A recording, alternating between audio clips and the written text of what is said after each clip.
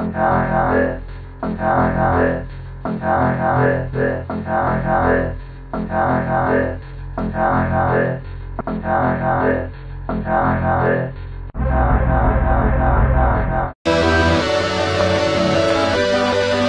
am Zadrian Smith, your host, and this month I'm talking to FIT students. Entrepreneurs and emerging designers all stem from this campus. And this month we're talking to emerging jewelry designers.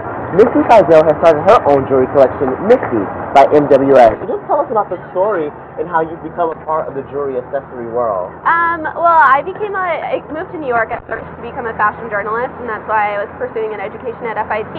And upon interning at Vogue and Paper Magazine, Wait, um, you interned at Vogue? I interned at Vogue. Does the devil really wear Prada? Um, at times. At times. but I, um, Prada amongst other labels, right? yes. Um, so upon these internships, I was sort of um, advised into making a jewelry line because I constantly wore jewelry that I had been making since I was eight years old. I sort of started making it on the Cape, summers in Cape Cod, um, where my grandparents had a condo, and I would make seashells into like pieces. And um, I grew up within the jewelry industry because my grandparents had a series of a chain of stores across New England. They had a fine jewelry line chain. So chain it's kind of it's kind of driven in your blood. It's in your blood to do it. Yeah, as well. They also had something similar to Claire's that they had like production and everything made just for this chain of stores. So Now coming to New York, being immersed in a hub of fashion, how has that both been motivating for you, but also challenging? um, it's been challenging, I guess, because um, fashion is very much smoke and mirrors, and things aren't always what you expect them to be. But it's been really overall exciting to just be able to be a part of things you've dreamed of experiencing since you were a young girl. Well, talk to us about you know coming to FIT. Everyone is doing internships.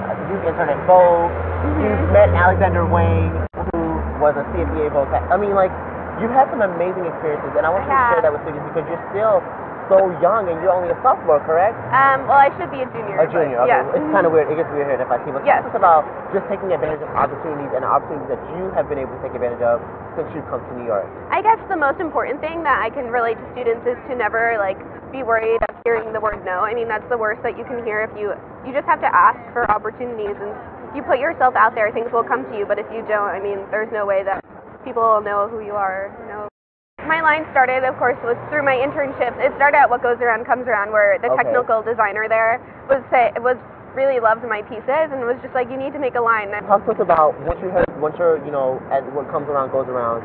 Your boss tells you start your own accessory line. So you leave and you actually start thinking about it, and then you do it. Well, I was there for nine months, so it sort of got rolling because I had two internships at once at one point. So I was. Misty, what are you giving me? You're giving me a lot right now. I'm tired of just listening to you. so um, I while I was interning at Paper, they pulled it for a shoot, and that was when I realized that that I really. magazine your jewelry Yeah, for a shoot. for a shoot, and that's when I realized that maybe I really should take talent. this advice and just pursue it. I think it. that it's natural. It's a natural talent, right? It's not something because you. I mean, it's something that you are always doing, and you find that with a lot of designers that make it really big. I mean, of course they have a craft and they train, but it's something that's intrinsic in them. Do you feel like it's just something that you love to do? It's intrinsic. yeah, it's actually very therapeutic, very relaxing for me. So it's something I love to do. So here we are in the studio. I'm here with Misty, and we are now here seeing your fall 2010 collection, Mhm. Misty by MWS line. So Misty, tell us about the inspiration. As we said outside, you have a very classic, antique, vintage style going Mhm. on. Talk to us about how you carry that over into each collection to make sure that you, and I know that brand is very important to you. Mhm. How do you make sure that you carry that over into each collection and build on that and have it grow? Um, well, I basically I have very constant elements of construction, and I kind of change up the styling of them, if that makes sense. I mean, my line, if you if you start a line, what you start with is always like very different than what you have in two seasons. I mean, if you see any young designer like Christopher Kane or whatnot, it's from his first collection to what he has now, it's completely progressed. So Mhm. I'm sort of just building on what my initial thoughts were on jewelry and. What were your initial thoughts on jewelry? um, I really love chain, but not in an 80s sort of Balmain kind of way. More. Who do you see? Who do you see wearing your pieces? Who would you, in a perfect world, if you could pick maybe a celebrity or a model or Um, a magazine publication, who do you see your brand fitting in with? I guess like a Zooey Deschanel or someone who's a bit quirky but very classic at the same time. Um, but I mean, even though the pieces look kind of cohesive as a, a collection, they kind of each person can take something from it and make it their own. So you're kind of like a one man right now. You are really in the you're doing everything on your own, which is definitely helping you grow and helping you learn how to be a businesswoman. Yeah. Where do you want to be five years from now? I, I would love to uh, graduate from FIT and still have this and kind of maybe even have it as my full time job and Mhm. not have to go into the. I mean, Are having you your taking accessories classes at FIT or is it just No. No, so it's, everything is just what you've learned from your grandparents and from experience. Mhm. Wow, that's amazing. So um, I would love to pursue this as my full time career. All right, so let's talk about the fall collection. I'm loving what I'm seeing here. I see a little bit of have like a little nest here with the. Per- Mhm. tell us about the pieces that you've used, more specifically the art, the craft work. Talk to us about that. Well, I mean, while things may look really simple, um, what I really pride my line on is sort of being uh, complex in construction.